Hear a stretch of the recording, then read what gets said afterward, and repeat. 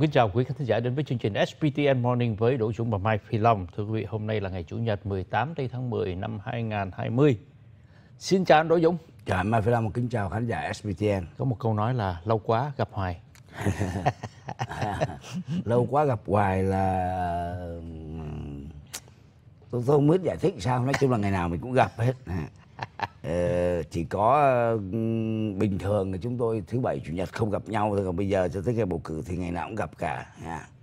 vâng và chúng tôi cũng gặp quý vị mỗi ngày và hy vọng rằng là à, những uh, chương trình mỗi ngày nó có gì nó thay đổi nhưng mà chúng tôi cho đến giờ này những giây phút mà gần tới ngày bầu cử thưa quý vị chỉ có một cái thông điệp là mọi người chú ý đến chuyện bầu cử và đương nhiên giữa hai ứng cử viên là những cái hoạt động mà cuối cùng nỗ lực và là cuối cùng để mà tranh thủ cái lá phiếu về mình vẫn tiếp tục là à, rất là hăng hái thì uh, trong cái sự kiện mà liên quan đến vấn đề tranh cử này có chuyện gì đáng nhắc đến ngày hôm nay thưa anh Dũng? À, nó có điểm đặc biệt là chúng ta thấy uh, thường thường khi mà tranh cử đó người ta dùng hết mọi cái uh, gọi là phương tiện biện pháp và chiến thuật chiến lược có cái gì là chơi cái đó hết nhưng mà tôi ở Mỹ cũng uh, gần 30 năm tạm thời gọi là gần 30 năm thì tôi thấy thường thường người ta ít khi đi vào vấn đề cá nhân. Người ta đi vào chính sách đó, đi vào chính sách. Ồ chính sách của ông Long là tệ lắm. Ông Long nói chính sách của tôi là tệ lắm. Nhưng mà tổng thống Donald Trump có một cái chiêu độc đó là đánh vào cá nhân. Và có lẽ ông đã thành công trong chuyện đó năm 2016 quý vị nhớ không? Khi mà ông nói là đòi bỏ tù bà Clinton ở trên sân khấu lúc mà ông tranh luận với bà năm 2016 ông có nói là nếu mà tôi đắc cử tổng thống tôi sẽ bỏ tù bà. Nhưng mà điều đó cho đến giờ phút này cho thấy ông là một người nói dối. Bởi đó chỉ là hăm dọa mà thôi. Phải nói mà không làm tại tôi, tôi nói là ông là nói dối là bởi vì sao? Nhiều người nói ông ông lên ông thực hiện những điều ông làm cái đó ông nói dối. Ông chưa dám bỏ tù bà Clinton nhưng mà ông vẫn dùng cái chiêu đó. À, và cái chiêu đó ngày ngày hôm uh, thứ uh, sáu vừa rồi đã được lặp lại ở tại uh, thành phố Moron, tiểu bang Virginia. Và người ta đã kêu cái câu là trong cái buổi này ông đã nói lên cái tiếng là lock them up và sau khi người ta gọi là lock him up là lock ông Biden và con ông Biden. Đó. Chúng ta biết trong cái vụ mà ông Hunter Biden bị nói rằng là có đi bỏ một cái ờ, laptop ở cái tiệm bên Delaware và sửa và sau đó bây giờ nó đổ ra đủ thứ chuyện mà chưa ai verify được chuyện đúng sai như thế nào và tổng thống Donald Trump đã tận dụng cái cơ hội này và nói trong những ngày qua và hôm thứ sáu vừa rồi thì ông đòi nhốt tù hai cha con này thì để coi quý vị coi nghe cái đoạn video sau đây coi ông nói như nào. I mean, what you're doing in Michigan has been amazing. Now, you got to get your governor to open up your state, okay?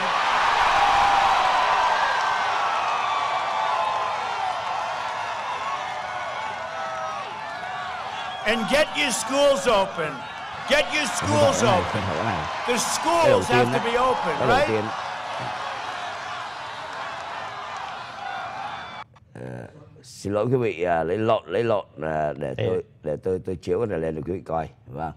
Xin ban kỹ thuật uh, chờ một chút xíu uh, lộn lộn đây đây xin mời quý vị coi uh, anh cho coi cái màn laptop của tôi. Dạ laptop của tôi đấy vâng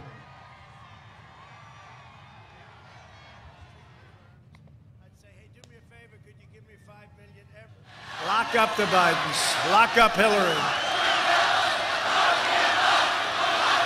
Lock them up.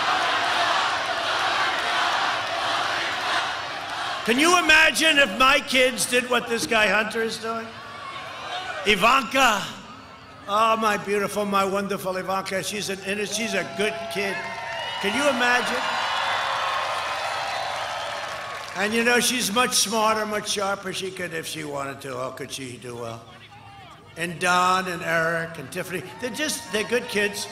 But you know, we don't do things. We don't, it's like, boy, they'd make a fortune. Just think of it. And when you look at what they get away with. Vâng, thưa quý vị, tôi xin lỗi cái này là xảy ra ngày hôm qua, chứ không phải là hôm thứ Sáu, mới ngày hôm qua tại tiểu bang Georgia.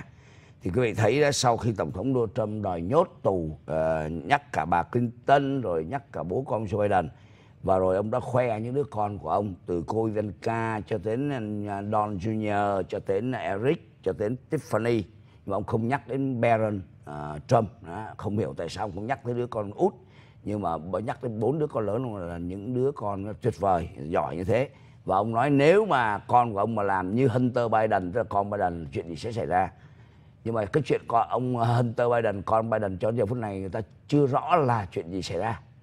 À, chưa rõ là cái chuyện là có phải là ông bỏ cái laptop ở tại cái tiệm Delaware không. Đây nó mới chỉ là những cái mà um, người ta nói ra thôi. Và FBI đang điều tra xem uh, cái vụ này có phải là do tình báo của Nga sắp đặt hay không. Đó. Nhưng mà tổng thống nhà ta thì coi như bây giờ là có vẻ như là không còn cái chiêu nào khác thì ra ông phải sử dụng tới cái chiêu này chúng ta thấy rõ đó tức là nhắm vào cá nhân người ta giống như ông đã từng làm vào năm 2016 và cái chuyện ông Trump ông nhắm vào cá nhân người ta đó là ai cũng biết hết đó ờ, từ cái thời mà ông chưa ứng cử tổng thống đó, là ông đã nhắm vào ông Obama ông bảo Obama là không có đẻ Mỹ quý vị nhớ không? Mà 5 năm sau ông mới xác nhận là đẻ Mỹ. Nói chung đó là đối với ông Donald Trump là tôi nhắc quý vị nhớ một cái điều như thế này. Ở đây mình không nói đúng sai hay là xấu hay không xấu vậy nhưng mà một điều chắc chắn là ông Trump là một người rất là đúng theo kiểu Mỹ. Không từ bất kỳ một hành động nào để chiến thắng. Không từ bất kỳ một cái gọi là phương tiện nào, cái cách nào để miễn là chiến thắng. Đó là cái tinh thần của người Mỹ, đúng kiểu người Mỹ. Đạo đức, đi chỗ khác chơi. Và tôi nói với quý vị nhiều lần, nhớ giùm tôi là các chính trị gia, ngay cả chúng ta có 10 điều được làm, chúng ta chỉ làm có 9 điều thôi, chúng ta chừa lại một điều, nhưng ông Trump là không chừa điều nào cả. Và ông đã chứng minh cái điều đó và ngay cả cái chuyện Covid 19 chúng ta thấy luôn chết hơn 200 ngàn người không sao cả. Biết làm sao nước Mỹ đi lên. Đó là quan điểm của ông. Ở đây mình không nói đúng sai nhá. Mình xin nhắc như vậy. Cho nên hôm qua tôi thấy có cái người ờ, mấy người ta bỏ lên diễn đàn anh Long với ông ta chụp ba cái hình ba ông tổng thống ấy. kế tiếp á với nhau ông ông ông, ông uh, bút con đó IQ Saddam Hussein. Ông Obama thì IQ Osama bin Laden tới ông Trump IQ over 200.000 people. Đó, người ta diễu như thế nhưng mà chết 200 ngàn người để cho 300 triệu người sống thì cái đó thì có thể ông Trump nghĩ là điều cũng nên làm lắm. Thì cái đó là ừ. quan điểm như vậy. Thành ra từ giờ đến ngày bầu cử chúng ta thấy ông Trump còn nhiều cái gọi là chiêu nữa chiêu độc đó. Rồi quánh tới cái gì luôn? À, quánh tới cái gì luôn? À. xin uh, nhắc quý vị như thế và thưa anh Long tôi thì ờ, anh Dũng có một câu nói hồi nãy tôi không có đồng ý. Dạ. Là người Mỹ nào cũng đến lúc gọi là đánh nhau thì đánh nhau đến là tận cùng như thế. Không, không tôi nói là tinh thần người Mỹ tinh thần người tôi Mỹ. không dạ. tôi không nghĩ như vậy. Ok. Xin ban kỹ thuật cho xem màn ảnh laptop của tôi.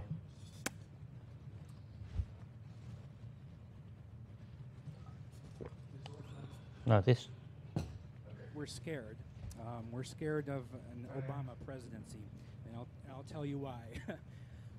I'm concerned about, um, you know, someone that, you know, cohorts with uh, domestic terrorists such as heirs. I have to tell you, he is a decent person and a person that you do not have to be scared as President of the United States. Now, I, I just, now I just, now, now look, I, I, I got to ask you a question. I do not uh, believe in, I can't trust Obama. I, I, I, have read about him, and he's not, he's not, he's a, um, he's an Arab. He is not, no? No, ma'am. No, ma'am. No, ma'am. He's a, he's a, he's a decent family man, citizen that I just happen to have disagreements with on, on fundamental issues, and that's what this campaign is all about. He's not. Thank you. Thưa quý vị, chúng ta vừa chứng kiến cố thượng nghị sĩ John McCain khi mà những người ủng hộ ông lên tiếng gọi là nghi ngờ ông Obama là một người Ả Rập không đáng tin. Ông thượng nghị sĩ John McCain nói no, không phải như vậy. Ông ta cũng như tất cả mọi người rất là là những người một người đáng kính trọng như tất cả mọi người chúng ta. Cái điều khác nhau là tôi với ông ta có những quan điểm về chính sách nó không giống nhau. Vì lý do đó tôi làm tôi ra tranh cử tổng thống thì trong cái chuyện này chúng ta thấy một người như ông John McCain thì đó là một cái nước Mỹ. Mà theo anh Dũng nói rằng là người Mỹ giống như vậy thì tôi không có đồng ý vì ông John McCain ông không có thể hiện cái điều mà giống như chúng ta đang chứng kiến. Đó là lý do vì sao ông ông ông, ông John McCain à, thua. À, nhưng mà ông John McCain lại được à, là nhiều người kính trọng. Thì anh chọn thôi. Anh chọn thôi một là trong một trận đá banh anh chơi fair play mà người ta nói anh vừa đá đẹp mà vừa đá ờ, đàng hoàng nhưng mà anh không có vô địch còn một bên bảo vô địch nhưng mà chơi dơ quá rồi bên kia bảo "Ơi, tôi chỉ cần vô địch thôi tôi không cần hết Rồi tùy chúng ta chọn không nếu mà nói Không. như thế tôi cũng không đồng ý ở cái chỗ rằng là Ừ. trong cái cuộc ờ, tranh đua giữa các vị gọi là ngày xưa đi tranh chức tổng thống phải không? Thì hai vị đó, các vị đó đều đánh nhau cả, rồi cuối cùng cũng sẽ có một vị thắng. Mà bất kỳ cái vị nào thắng trong tất cả các thời gian trước, chúng ta cũng không thấy chơi những cái trò mà mà mình nghĩ rằng là người Mỹ chơi cái trò đó. Một cái nước Mỹ mà chúng ta biết từ trước đến giờ là một nước Mỹ không có những cái chuyện mà cần phải là bới móc như thế để mà chiến thắng. Rồi rốt cuộc cũng sẽ có một người thắng, và cái người thắng đó từ trước đến giờ chúng ta chưa thấy chơi cái trò đó bao giờ cả thì tôi tôi đã nói với anh rồi là nó có hai cách để chúng ta lựa chọn trong cuộc sống. Ờ, tôi thấy ờ, những cái trận mà banh anh anh ờ, basketball đó Yes. tôi thấy trái banh nó văng ra ngoài rồi nha. Nó văng ra ngoài rồi đó. Người ta thường để người mỹ họ ráng họ nhảy ra. Dạ. họ vớt trái banh cho dù nó chỉ còn có 1.10 sẽ cần thôi. Cho thấy cái tinh thần là họ chiến đấu cho tới cùng bất kể cái gì. Vấn đề ở đây là thế này nè tùy chúng ta chọn đúng không chúng ta chọn là chiến thắng bằng mọi giá. Nếu chúng ta chọn như vậy thì người khác mà cũng làm như vậy chúng ta đừng có chỉ trích. Có chỉ trích không? Có. À đó điều tôi muốn nói như này. Ông John McCain ông đã làm cái điều mà nhiều người ngưỡng mộ. Có thể đi vào lòng người nhưng cuối cùng ông là kẻ thua trận. Đúng chưa? Thua cái năm 2008 nhưng mà người thắng ông cũng không có chơi trò đó luôn. Không không không, không. À. mình mình khoan nói mình Ok. tôi khoan nói. Tôi không nói người thắng đó. Tôi đang nói cái người mà vì không làm như vậy, cho nên thôi, nếu mà ông John McCain là ông Trump thì hôm đó ông John McCain đã nghe lời cái bà này và tấn công rồi. Đúng chưa? Đúng chưa? Và có thể ông thắng. Đó. tấn công cái ông bà kia là ông kia không vô ngồi lộn nhà được. Thấy chưa? Nhưng mà ông John McCain không làm điều đó. Và ông John McCain được nhiều người quý mến. Cái chuyện người ta quý mến, anh chơi phép lấy mà anh không thắng. Ông Trump, ông chơi bằng mọi giá phải thắng. Và có nhiều người ủng hộ ông. Thế thì bây giờ ở những nơi khác trên thế giới có các cái chế độ mà độc tài cộng sản này kia vân vân. Họ cũng làm điều đó luôn chúng ta có thắng á chúng ta có ủng hộ không? Chúng ta có theo không? Đó, đó là điều tôi đang muốn nói. À anh hiểu ý tôi đấy. Nhiều người chúng ta hàn hàn bọn nó làm đủ cách hết. Nó làm mọi thứ nó không coi ai ra cái gì hết để mà chúng ta là phải bỏ ra đi. Vân vân vân vân. Đúng chưa? Thì bên đó người cộng sản bảo ê tôi cần chiến thắng mà tôi đâu hiệp định ba lê tôi xé luôn. Đúng chưa? Đó là vấn đề Vâng. tôi muốn nói là chỗ đó thôi anh Long. Cái này còn dài lắm Dạ. tôi, tôi tôi sẽ trở lại. Vâng sau phần quảng cáo xin quý vị đừng rời màn hình SPTN